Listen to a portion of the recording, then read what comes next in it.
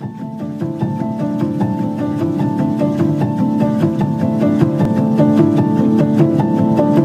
found an article on the internet that talked about a PET bottle could last 400 years before it breaks down. And even when it does it doesn't go away. It still comes back to either poison us or destroy the planets that we live on.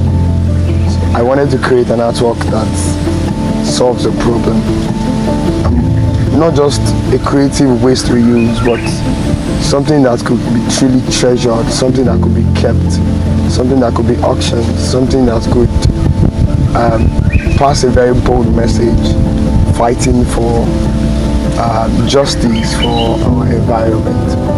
And yes, so we gathered about 5,000 PET bottles and we created a body of work. So we made a lot of ants and we made a lot of fishes.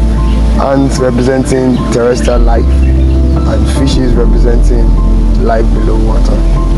I look forward to seeing these works affect people in a way that um, only art can in a way that they can change their mind and then they can change their lifestyle.